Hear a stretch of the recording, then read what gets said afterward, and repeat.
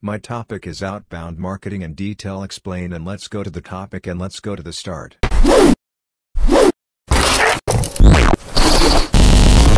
Outbound marketing is a traditional marketing approach in which a company initiates communication and reaches out to potential customers through various channels such as advertising, direct mail, telemarketing, and email blasts. The goal of outbound marketing is to get the message out to the largest possible audience in the hopes that some of those people will become customers. It's a push-based marketing strategy where the company pushes its products or services to the customers. Outbound marketing requires a significant amount of resources and can be costly, and its effectiveness is difficult to track. Furthermore, it can be perceived as intrusive or annoying by potential customers who are not interested in the products or services being offered. This is why many companies are shifting their focus towards inbound marketing, which involves creating valuable content and engaging with potential customers in a non-intrusive way. Outbound marketing, also known as interruption marketing, is a methodology focused on promoting a product or service to the widest possible audience through traditional advertising tactics. Examples include direct advertising, public relations, and interest-based social media ads. As outbound marketing is meant to target large groups of people, it's one of the most effective ways to reach potential customers who have either not heard of your organization before or don't even know they have the problem your business solves. Contrast this with inbound marketing, which is focused on organically attracting qualified leads through lower impact channels such as content and social media. As it focuses on interrupting what people are doing, outbound marketing has developed something of a negative reputation. At one point or another, We've all been annoyed by an overzealous telemarketer, or a spam email from another country offering web hosting solutions. However, there is still very much a place for outbound marketing within an organization's marketing mix. Inbound marketing is focused on qualifying leads and helping to build the relationship between consumer and organization, but without a way to make people aware of a particular brand or company, that relationship doesn't exist. Outbound marketing refers to any kind of marketing where a company initiates the conversation and sends its message out to an audience.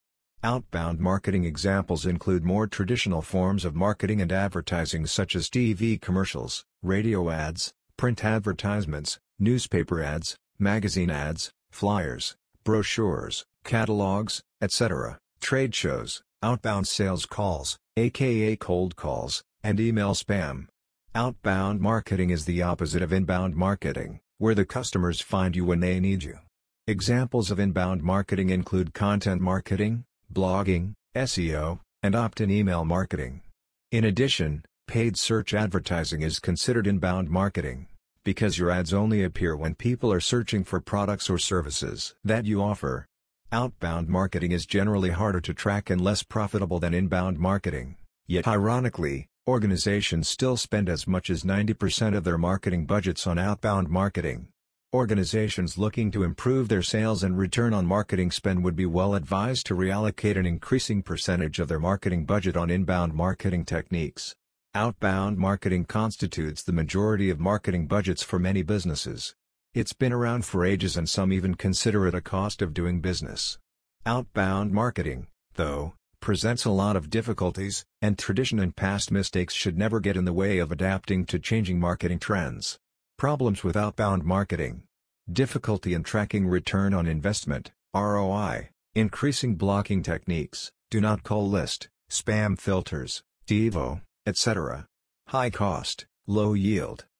CRM Daily reports, nearly half of the companies that implement inbound marketing efforts see a 25% greater return on investment, ROI, on those programs than companies that do not.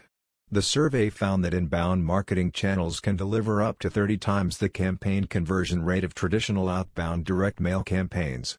Inbound marketing is easier to track, has a higher ROI, and lower overall costs than outbound marketing. Your next step, of course, is to cut costs and increase conversions by shifting from outbound marketing to inbound marketing. Inbound marketing and search engine marketing. One of the most effective ways to capitalize on the benefits of inbound marketing is with search engine marketing activities. Search marketing is unique in that your customers start the conversation by searching on a topic, you as the advertiser have the ability to insert yourself into the conversation. The idea is to create ads and web pages that will show up when someone searches for something relevant to your business, making it easier for customers to find you. Someone who searches for your product or service is a warm lead, and if you aren't there to catch him, a competitor likely will. Consider the last time you made a purchase. Where did you go? Did you look for ads in the yellow pages? Attend a trade show search for the product online? Most likely, you answered with the latter, and so did your customers. To get started with inbound web marketing, set up pay-per-click, PPC, campaigns on Google AdWords and author relevant content for search engine optimization, SEO. The more content on your website, the more reason for someone to land there, and the easier it will be for potential customers to find you. Outbound marketing is a traditional method of marketing seeking to push messaging out to potential customers. Outbound marketing includes activities such as trade shows, seminar series, and cold calling. It is costly and the ROI is much lower than inbound marketing. Inbound marketing is a strategy where you create content or social media. Tactics that spread brand awareness so people learn about you, might go to your website for information, show interest in your product, and potentially make a purchase. While some outbound strategies take lots of time and effort and may yield no leads, inbound strategies allow you to engage an audience of people that you can more easily qualify as a prospect of lead. The best analogy I can come up with is that traditional marketers looking to garner interest from new potential customers are like lions hunting in the jungle for elephants. The elephants used to be in the jungle in the 80s and 90s when they learned their trade, but they don't seem to be there anymore. They have all migrated to the watering holes on the savanna of the internet in our case. So, rather than continuing to hunt in the jungle, I recommend setting up shop at the watering hole or turning your website into its own watering hole. Rather than doing outbound marketing to the masses of people who are trying to block you out, I advocate for inbound marketing, where you help yourself be visible to people already interested in your industry. To do this, you need to set your website up like a hub for your industry one that attracts visitors naturally through search engines, blogging, and social media. You want to have content for every stage in the marketing funnel. For consumers in the awareness stage, social media and ads will work great to introduce users to your brand and product. Blogging will position you as a credible and trustworthy source within your industry and allow your target audience to find you. During this process, it's also important to develop an SEO strategy to ensure your website is optimized for search. Once visitors turn into leads, you can nurture them through email marketing, conversational chatbots, and automated workflows. In the delight stage, your goal is to ensure your audience can easily connect with your sales and service teams, and resolve their issues quickly. Inbound marketing is all about meeting your audience where they're at. You'll quickly find that your marketing efforts are performing better and helping your brand grow. Have you ever been tasked with producing or updating your company's marketing strategy? Whether you should use an inbound or outbound marketing strategy may be a familiar argument you hear when discussing upcoming project strategies. It's easy to get overwhelmed with information and advice. Should you focus on making splashy signage, talking to potential leads at an industry event, or developing an exclusively digital strategy? Fortunately, these two universal marketing concepts can help you limit your scope. Both have distinct applications, benefits and challenges, which we'll explore in this article along with an overview of them and examples of how to apply each method. There are several main differences between inbound and outbound marketing. Outbound marketing involves proactively reaching out to consumers to get them interested in a product. By contrast, inbound marketing centers on creating and distributing content that draws people into your website. Outbound marketing typically has a more aggressive, wide-sweeping approach, with the expectation that at least some people will convert. Inbound marketing is usually more subtle and focuses on convincing a particular group of individuals to make a purchase over time. Outbound marketing consists of various marketing strategies and techniques that simultaneously target a large spectrum of people. Some of these include advertising, traditional and digital, cold emailing, cold calling, trade shows, and content syndication. Outbound marketing is the polar opposite of inbound marketing, pull marketing where prospects find you to seek solutions to their problems. Outbound marketing or push marketing tactics have gotten a bad rap with the evolution of inbound marketing due to its perceived intrusive nature.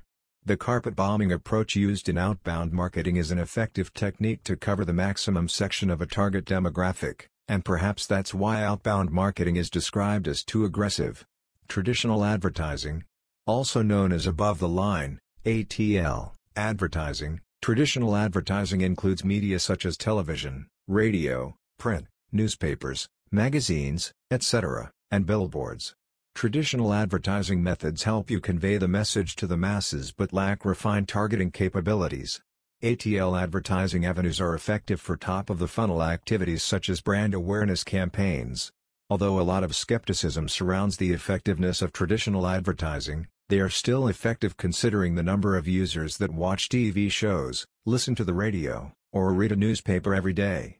Digital advertising, the first digital ad that ran in 1994 wasn't rich in targeting, but after 25 years, the digital advertising industry is as sophisticated as it gets.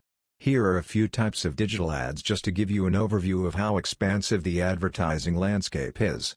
Search engine marketing, SEM, display ads, social media ads, over-the-top, OTT, ads, email ads, native advertising, video ads, Digital ads enable you to target your audience based on various criteria such as their demographic, geographic, psychographic, behavioral characteristics, interests, and habits.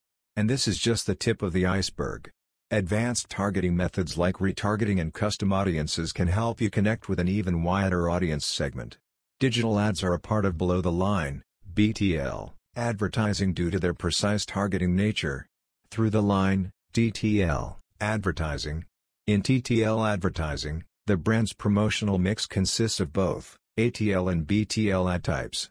For instance, a brand might run an awareness campaign across television, newspapers, and social media platforms.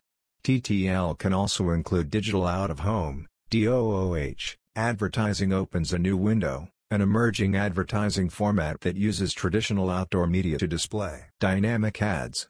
Cold calling, Cold calling or telemarketing is known to be the most notorious form of communication. In cold calling, the salesperson makes calls to a database of people, who could be prospects, to gauge their interest and convert them into paying customers. The salesperson usually has no prior communication with the customer, hence the term cold calling. The next step of telemarketing is warm calling, where a prospect has expressed their interest in your offerings, Cold calling is one of the most challenging marketing-slash-sales methods to drive sales due to reasons like do not disturb, DND, service activation or recipients unwilling to participate in the call. Email marketing. Whether email marketing opens a new window as an inbound or outbound marketing tactic has been a debatable topic, but any push tactic, whether the customer has agreed to receive it or not, can be categorized under outbound marketing since the sender initiates the communication. Email marketing enables organizations to connect to a wide subscriber base to identify various opportunities. Here are 9 types of emails you can send to your subscribers and customers. Welcome and onboarding email sequence. Lead generation, nurturing, follow-up campaigns. Weekly newsletters. New product-slash-feature launch. Product feedback, survey. Customer retention campaigns. Upselling or cross-selling emails. Cart abandonment emails discounts, offers, or customer loyalty campaigns. We have excluded transactional emails from outbound marketing as their purpose is to keep the customer updated on their purchases, orders, product returns, etc. Content syndication. In content syndication, you publish your content on a third-party website. It could be a guest post, thought leadership piece, interview, or a rehash of an existing article from your website. Sometimes content syndication can take place through brand collaborations as well, where you work with another brand to create a compelling content piece such as a downloadable guide. Content discovery platforms are distant cousins of content syndication. Content discovery platforms are a part of native advertising that allow advertisers to place their content on third-party publishing websites. Since content discovery platforms require publishers to drive a minimum fixed monthly traffic, approximately 10 million page views per month. To be eligible to place native ad slots, advertisers prefer native ads to amplify the content reach. Events and trade shows. Events and trade shows allow organizations to meet their prospects and customers face to face to generate leads, convert prospects, or retain existing customers. Corporations can organize their events such as Dreamforce by Salesforce or participate as a sponsor or attendee at conferences or events organized by a third party. The success of conference participation depends on pre-buzz activities, which consist of the activities mentioned above. While outbound marketing uses traditional tactics to push messages out to a broad audience, inbound marketing targets relevant audiences with online content to pull them into the sales funnel.